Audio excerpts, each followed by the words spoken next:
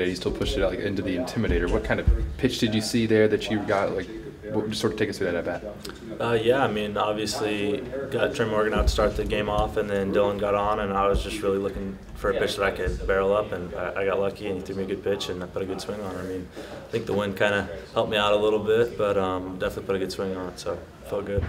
Uh, the middle of the order has just been great with run production so far this year. Uh, you, Doughty, and Joe Bear, I think, combined for almost over 50 RBIs already this year. I just kind of talk about the trio of you guys and, and, what you guys feel like you have to do as the middle of the order.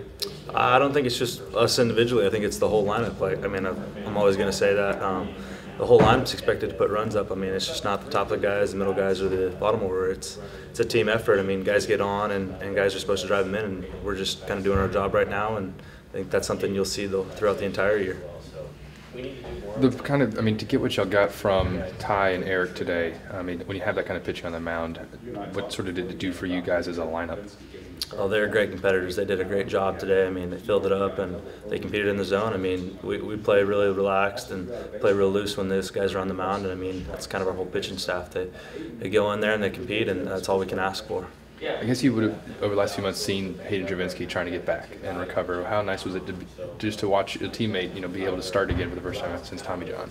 Definitely, he's a great player, a great catcher, and a great competitor, man. In the batter's box, I mean, it's just awesome to see him actually get a start today, and I mean, looking forward to seeing him playing in the future. Defensively, you guys have made some great strides uh, this week. Uh, just kind of talk about the effort you guys have been putting into it, and the, the effort specifically today. Good, good defense today. Yeah, the effort's always always there. I mean, I don't think there's any day that we we don't give our full effort and we're playing hard. But um, I mean, like I said um, countless times, we just try to get a little bit better each day. I mean, I'm, I'm just going to try to get a little bit better tomorrow than I was yesterday and today, and that's just kind of how everybody views it, and that's just how we're going to roll this year. Yeah.